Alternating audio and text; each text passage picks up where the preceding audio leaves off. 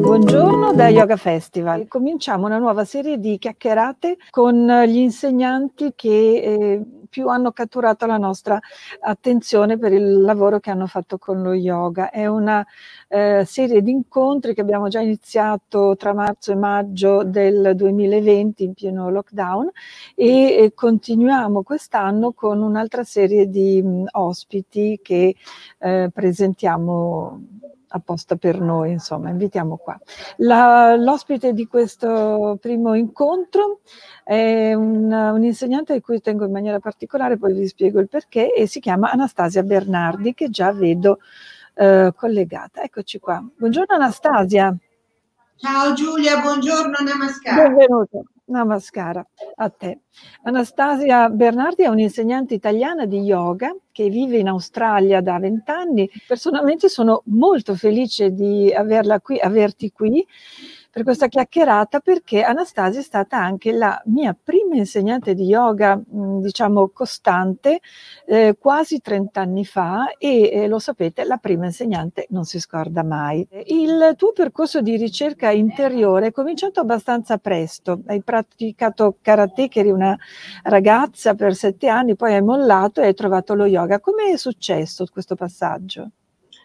Ma, eh, grazie ad una slogatura al polso sinistro sostanzialmente, ho dovuto smettere la mia pratica di karate e eh, trovare un diversivo, qualcosa di diverso. Mi sono trovata fra le mani questo libro di Andrea Van Lisabeth, Imparo lo yoga, eh, che mi ha aperto davvero le porte ad un mondo nuovo. È stato un incontro importante, eh, anche se appunto ho cominciato come autodidatta. Eh, Van Elisabeth mi ha introdotto a quello che poi è diventato effettivamente il, mio cammino nella vita, eh, ovvero sia il cammino dello yoga, il mio dharma.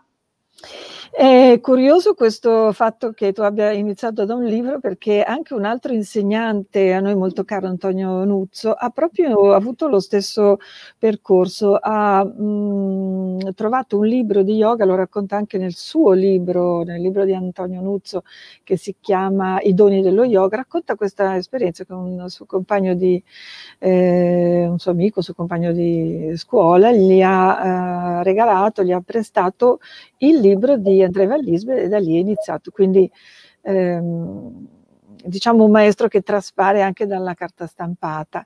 Com'è stato l'incontro con, con, lo yoga di Van Lisbeth, anche se sulla carta?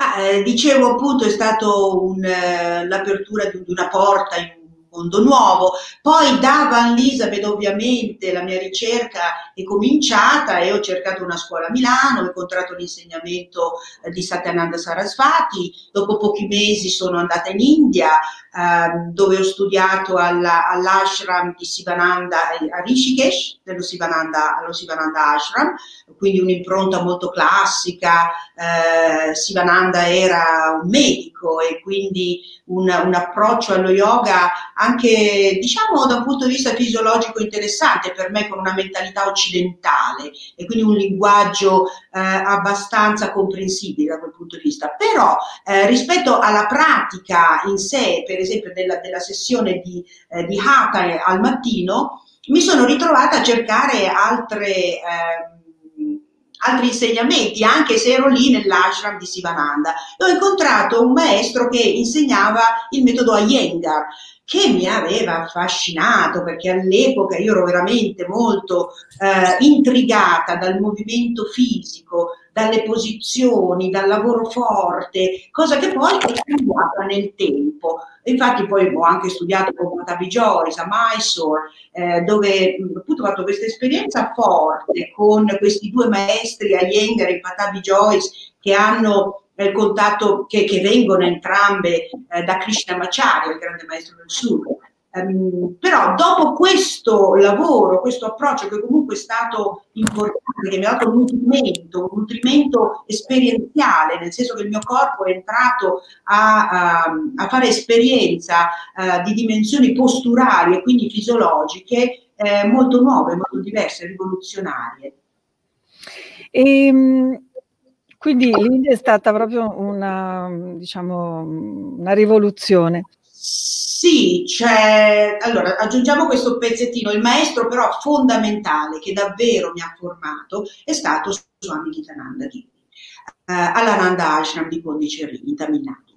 Ci sono arrivata, mh, ci, ci, sono rimasta quasi un anno e lì veramente c'è stata una trasformazione. Addirittura mio, eh, le mie mestruazioni si sono fermate per tre mesi, per dirti quanto importante, quanto è stato forte l'impatto. Um, quindi, tornando poi, la tua domanda è come ti sei sentita dopo l'esperienza di ashram, eh, e l'ashram vuol dire fare un po' la vita da suora sostanzialmente. E, e, la vita cominciava alle quattro e mezzo del mattino, una bella doccia, la pratica, i rituali e tutta la giornata così. Potrei utilizzare già la parola di neuroplasticità, perché eh, che cosa è successo? Qualcosa è cambiato, qualcosa è cambiato proprio nel mio modo di pensare, nel mio modo di vedere. Eh, dunque, connessioni neuronali nuove, perché? Perché sono stata esposta in modo continuativo ad una pratica, che è una pratica complessa, quello dello yoga, perché quando parliamo di yoga sappiamo che parliamo di un, di un cammino del, del, quarto sistema filosofico indiano eh, e, e, quindi abbraccia tutta una serie di insegnamenti che non possono essere ridotti ad, un solo, ad una sola tradizione, quindi abbracciano tantissime cose e queste, eh, questa dimensione me la sono portata a casa. Quindi quando sono tornata in Italia, dopo questo periodo in ashram, eh, mi sentivo un po' un pesce fuor d'acqua. Eh, c'è molto questa sensazione di eh, impurezza, cioè essere impuri. Ehm, il modo di mangiare, il modo di vestirsi, il modo di camminare, il modo di stare proprio, eh, mi rivelavano una dimensione da cui mi ero staccata e quindi mi ha messo di fronte al mio cambiamento ma eh, a un certo punto sei di nuovo ripartita e questa volta per l'Australia dove tuttora vivi. Sembrava che tu partissi per pochi mesi e invece sei rimasta vent'anni. Come, è andato? Come ti sei costruita un, un'identità in Australia e soprattutto la pratica dove l'hai messa? Come, come l'hai inserita nel tuo trasferimento? Allora, c'è forse da dire che il mio primo contatto con l'Australia è avvenuto nel 93, quando Swami Gitananda Giri a Pondicherry ha organizzato la... Um, conferenza internazionale, sono stata la prima conferenza internazionale di yoga, dove incontrai anche Ananda Kapila, il mio attuale mentore, eh, John Mumford, Um, e lì mh, una serie di vecchi studenti di Swami G, di Swami Kitananda, vennero alla conferenza e uno di questi mi invitò ad insegnare un intensivo di tre mesi a Sydney, questo è nel 93.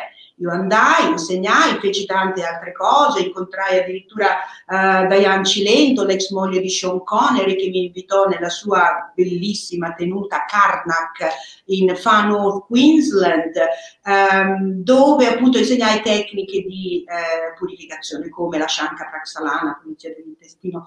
Eh, rimasi per qualche mese, feci un incontro anche lì molto interessante con l'insegnamento di Gurdjieff e infatti la, uh, la proprietà della Diane Cilento era chiamata proprio Karnak ehm, perché proponeva l'insegnamento eh, di Gurdjieff con i movimenti sacri, le danze sacre e ehm, molti contenuti legati alla, alla, dimensione della meditazione, quindi il lavoro che io facevo con, con la Diana riguardava più eh, l'aspetto fisico, quando lei lavorava tanto su, su quello che era invece l'aspetto mentale, quindi di Diana, Dharana eh, quell'esperienza poi eh, è, si è chiusa, dopo nove mesi sono tornata in Italia pensando non tornerò mai più in Australia perché non ne sentivo il cuore. E, e questa è rimasta una cosa un po' misteriosa per me perché dopo sette anni eh, feci ritorno in Australia mh, mm, perché volevo, eh, ero arrivata ad un video, dovevo decidere se andare in Brasile o in Australia, in Australia però c'era John Mumford e quindi decisi di tornare in Australia. Rimasi in Australia anche perché incontrai il papà di mia figlia e ehm, cominciai a fare un percorso eh, anche accademico, mh, feci un Master of Teaching alla Melbourne University perché il mio cammino effettivamente è anche legato soprattutto all'insegnamento. Eh. Il mio background in Italia eh, è praticamente all'interno della pedagogia, psicologia, ho fatto una, una tesi comparativa fra i metodi appunto dello yoga ehm, eh, dell'Est e i nostri metodi tradizionali di insegnamento. Dunque questo è il mio interesse per l'insegnamento, se poi eh, tradotto anche in un approfondimento in, in Australia. E, e, quindi sono entrata nel mondo, nella vita australiana eh, con molta tranquillità, parlavo già inglese ehm, ed è stato lì che eh, poi ho cominciato anche a fare il mio training eh, come operatore di Feldenkrais. Ecco, giusto, arriviamo un po' alla, alla tematica che volevo toccare con te. In Australia tu hai incontrato il Feldenkrais, ma hai anche messo a punto un connubio particolare tra yoga e Feldenkrais. Intanto ti chiedo due parole per chi non conosce il Feldenkrais, se puoi inquadrarlo, e anche come lo avvicini allo yoga. Allora, il Feldenkrais, detto in una frase, è un processo educativo, un processo di apprendimento. Infatti eh, le persone che praticano Feldenkrais sono studenti, sono considerati studenti, che utilizzano il movimento per migliorare eh, le capacità psicomotorie. Quindi il movimento più l'attenzione diventa, diventano principe, il, il il modo principe per imparare. Perché insisto a ripetere questa parola imparare? Perché è proprio un apprendimento di se stessi e avviene attraverso questo, eh, questi movimenti lenti che ti portano ad una osservazione molto dettagliata e molto particolare, che però include anche la sensazione, quindi mh, la dimensione cenestesica. Cosa vuol dire cenestesica? Cos'è, cos'è il senso cenestesico? È il, la percezione del nostro movimento nel campo gravitazionale, come lo percepiamo, come lo sentiamo, qual è la sensazione infatti. In tutto questo c'è il sentimento e c'è anche il pensiero e quindi è eh, quello che propone, che ha proposto Moshe Feldenkrais negli anni 50, eh, è stato qualcosa di anche lì piuttosto rivoluzionario, perché intanto è stato un precursore della neuroplasticità, ehm, sottolineando eh, il fatto che il nostro cervello effettivamente può cambiare. Eh, poi hanno scoperto che i neuroni non muoiono e si riproducono, che anzi la plasticità del cervello, oggi come oggi è un tema ehm, così molto eh, presente, eh, soprattutto eh, all'interno della neurologia, e eh, quindi il, il pregio, eh, diciamo eh, la, la, cosa più eh, interessante per me rispetto al metodo Feldenkrais è proprio questo studio di se stessi ed è qui che trovo il collegamento con lo yoga, perché che cos'è lo yoga se non è l'unione fra eh, l'io esterno e quello interno, fra il mio modo di percepire il mondo esterno e il mio modo di percepire il mondo interno. E come faccio a raggiungere questa unione. Allora lo yoga ci dà eh, molti strumenti che hanno subito purtroppo, dico purtroppo da una parte, però bene anche dall'altra, eh, si sono così sbizzarriti nell'invenzione di molti nuovi metodi a cui hanno attaccato appunto la parola yoga e poi altre cose. E, e qui volevo chiarire anche questa cosa, il mio cammino è il cammino dello yoga il Feldenkrais per me è uno strumento così come eh, altri strumenti possono entrare in campo, non so, i miei studi di psicologia, pedagogia, eh, sicuramente sono parte eh, del mio modo di insegnare.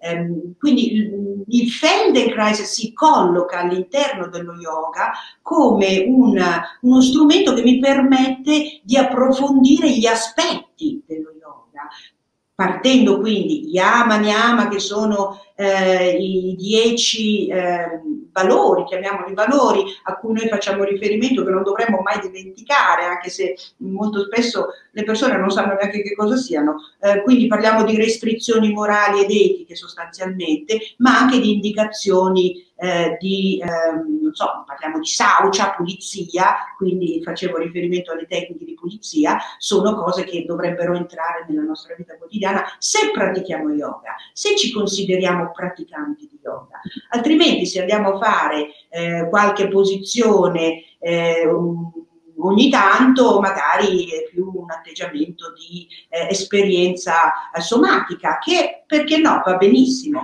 ed è questa la bellezza anche del Feldenkrais perché il Feldenkrais il metodo Enterprise si pone l'obiettivo di facilitare la nostra vita, di eh, darci più possibilità, eh, di rendere le cose più semplici eh, e meno nevrotiche. Eh, lavora tanto con il sistema nervoso e questo è un altro elemento fondamentale perché l'equilibrio fra il sistema nervoso simpatico e parasimpatico vuol dire trovare una dimensione di armonia e direi anche di contentezza tutto sommato ehm, nella vita. Perché? perché ci mette nella condizione di osservarci, perché ci mette nella condizione di poterci osservare e vivere in questo senso, quindi non eh, vittime di eh, abitudini parassitarie, per esempio, mh, mm, un movimento potrebbe essere, eh, per esempio, acquisito eh, perché abbiamo subito un trauma e quindi ci siamo fatti male ad una gamba quindi carichiamo di più un'altra gamba rimane questo, questa impronta eh, di abitudine anche quando abbiamo risolto, per esempio, il problema dall'altra parte. Però rimane l'abitudine. Quindi sono abitudini parassitarie che vengono, diciamo, mascherate e eh, attraverso l'osservazione, la presa di coscienza, e quindi a che cosa acquisiamo? Un maggiore livello di libertà, perché a quel punto possiamo fare delle scelte, possiamo decidere eh, di fare delle cose piuttosto che altre. Questo mi richiama per esempio ad uno dei testi più eh, a me cari, che è quello di Mircea Eliade, lo yoga, immortalità e libertà, perché sostanzialmente è questa no, la cosa a cui eh, tendiamo, aneliamo, l'essere liberi. Mm. Si potrebbe parlare molto e tanto. Eh. Diciamo che una frase di Felden, di Feldenkrais Moshe era quando sapete quello che fate, potete fare quello che volete. Che mm ci racconta molto. E chi volesse saperne di più sul tuo lavoro, su, su, sulla pratica e anche magari seguirti, come ti contatta? Hai una pagina di Facebook? Cosa, cosa consigli per chi ti vuole raggiungere? C'è una pagina di Facebook, eh, anche se io consiglio sempre di mandarmi un'email ed è semplicissimo perché la mia mail è il mio nome Anastasia Bernardi in una parola sola con il numero 65 chiocciola gmail.com. Allora, grazie mille Anastasia, speriamo di vederci ancora magari più in là nei mesi e ti ringrazio. Namaste. Grazie a te. Arrivederci.